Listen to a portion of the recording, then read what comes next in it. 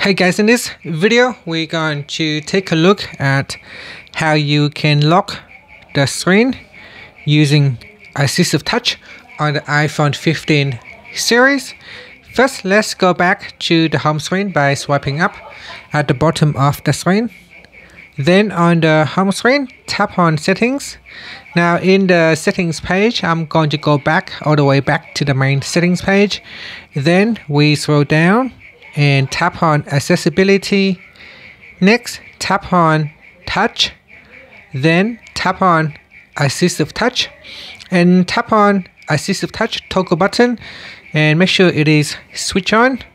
Once you turn it on, you can swipe up to go back to the home screen. Now after you can tap on the assistive touch button, then tap on device and in here you can tap on lock screen and this will allow you to quickly lock the screen. You can also assign a single or double tap to the buttons to allow you quickly lock the screen. To do that, we go back into Assistive Touch and here you can set it single tap, double tap, or long press. So let's say if you want to assign a function to double tap, you tap on that, and then we scroll down and then tap on lock screen.